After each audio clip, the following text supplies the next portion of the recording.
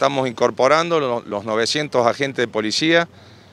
que el gobernador anunció se iban a incorporar a las fuerzas policiales. Ya estuvimos hace minutos en la ciudad de Potrero de los Funes, en la ciudad de Juana Coslay, ahora nos encontramos en la hermosa ciudad de La Punta. También vamos a estar presentes hoy en Estancia Grande, en El Trapiche, Nogolí, Villa de la Quebrada, La Finur, El Morro, y así lo vamos a hacer por cada uno de las ciudades de la provincia, en donde vamos a poner personalmente en funciones a cada uno de los 900 miembros de esta policía ciudadana. Esta policía ciudadana va a ser una policía que va a estar trabajando íntegramente en la calle. 100% del horario haciendo tarea de prevención con recorridos dentro de cuadrantes que han sido diagramados en función de los que nos dicta el mapa del delito. Con esta operatividad vamos a lograr 900 agentes que van a estar permanentemente en la calle, patrullando, circulando y previniendo el delito en contacto con el ciudadano.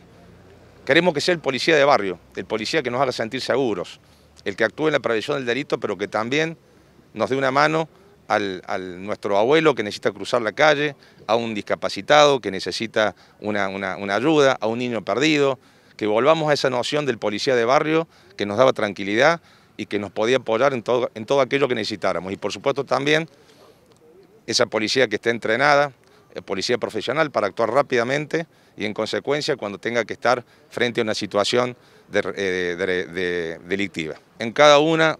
de estos, de, estos pequeños actos en donde lo hemos esperado para felicitarlos, para abrazarlos, le hemos pedido que actúen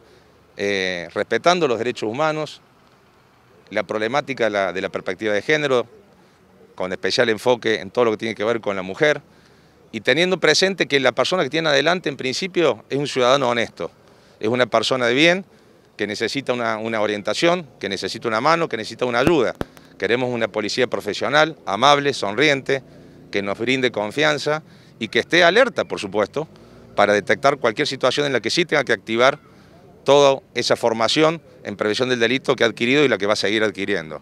Pero le hemos pedido que, que trabaje eh, ayudándonos. Entendemos que cuidarnos implica, en primer lugar, entender cuáles son nuestros derechos y respetarlos. Desde ese punto de vista, tiene que estar abrazado con la ciudadanía,